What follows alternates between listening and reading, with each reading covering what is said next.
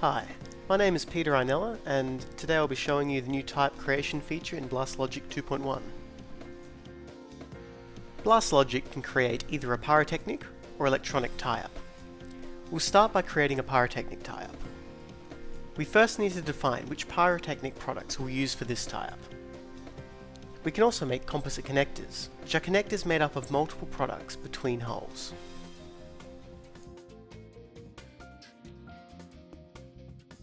We'll start by linking this row with our composite connector using the row by row tool. But I really don't want to have to connect each row up individually, so I'm going to use the autofill tool to connect the rows up automatically. This copies the row while connecting the column with this single product connector.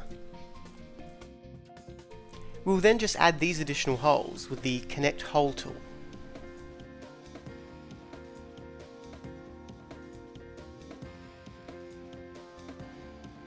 Finally, my initiation point, where the beginning of the blast is from, is actually off the blast a bit, so I'm going to set a dummy hole to represent the point at which the blast is going to start the timing from.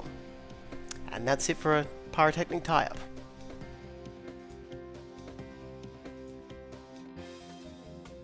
We can visualize what the hole timings are going to be like by using the timing contour tool.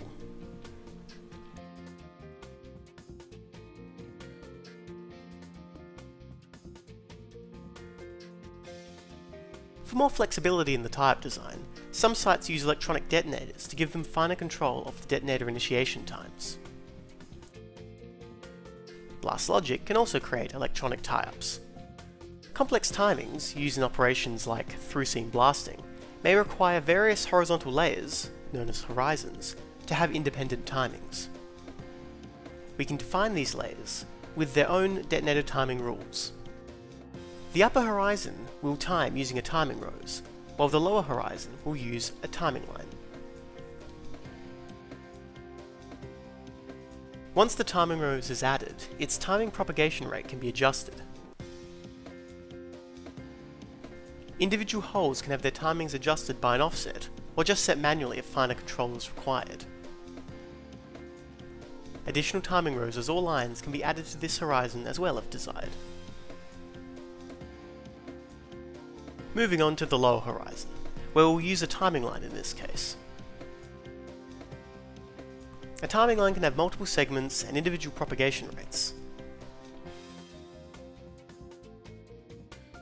The effect of this timing line is easier to visualize with a contour map.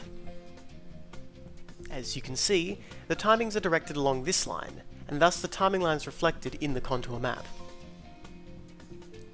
The final step of the electronic tie-up is to determine the harness wire arrangement. This is done in a similar way to a connector of a pyrotechnic tie-up, through using the hole-by-hole digitization. Each of these harness wire runs are listed in the harness wire table, which is used when the data is exported to an electronic logging system like DetNet's DigiShot. After the holes are connected, the tie-up is complete. We can view an animation of what order the holes we blasted in by opening up the Animate Blast tool.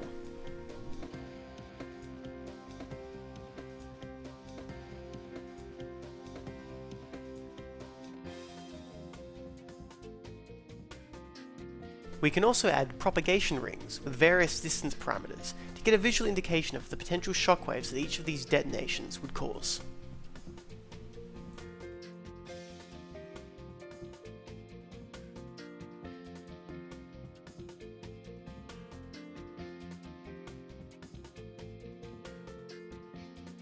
So you can see that BlastLogic offers tools to create both pyrotechnic and electronic tie-ups, and gives the user visual feedback on the effectiveness of their design.